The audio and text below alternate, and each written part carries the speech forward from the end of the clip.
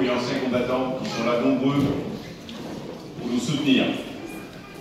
C'est un grand plaisir pour moi de vous accueillir aujourd'hui à l'Hôtel de Ville, à l'occasion de la célébration melunaire de la fête nationale.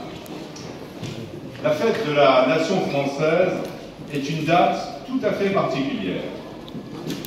C'est en effet le jour choisi depuis 1880, seulement depuis 1880, pour célébrer l'unité nationale autour de nos valeurs, les valeurs de la République. Et bien sûr, la Troisième République naissante n'a pas choisi ce jour au hasard.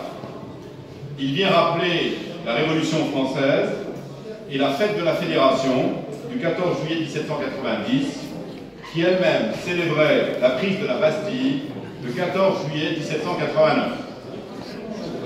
Il s'agit de ne pas oublier que nous célébrons aujourd'hui l'unité nationale autour des valeurs de liberté, d'égalité et de fraternité. L'unité nationale autour de nos institutions républicaines, de nos institutions démocratiques. L'unité nationale autour de notre drapeau, et puis depuis quelques années, du drapeau européen. L'unité nationale autour de notre armée, qui est un des ciments de notre nation. L'unité nationale, enfin, en ayant en tête qu'elle est un bien précieux à défendre contre toutes les intolérances, contre tous les excès, et qui peuvent à tout moment menacer ce bien précieux qui s'est façonné au cours des siècles.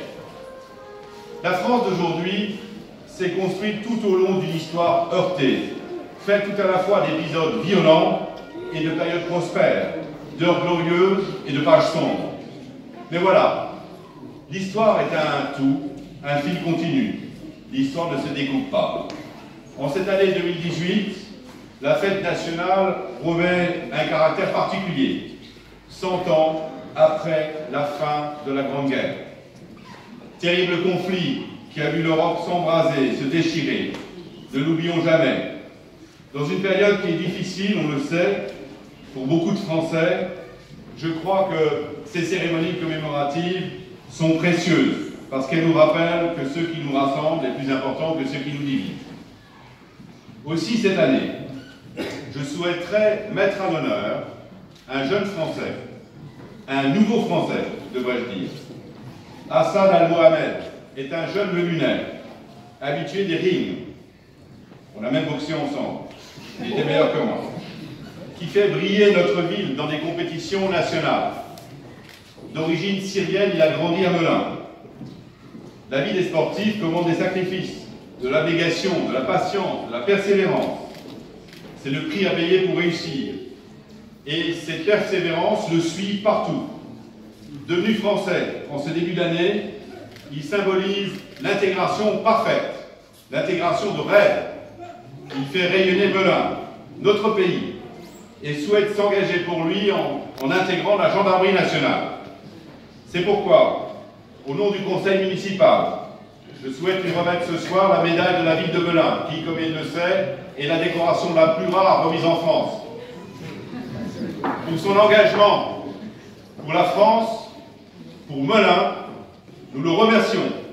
Vive Melun, vive la République, vive la France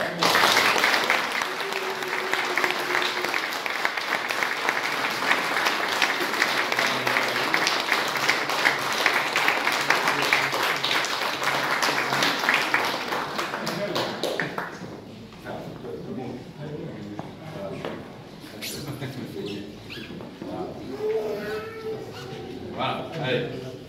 Allez, collègue. Allez. Allez, on y va.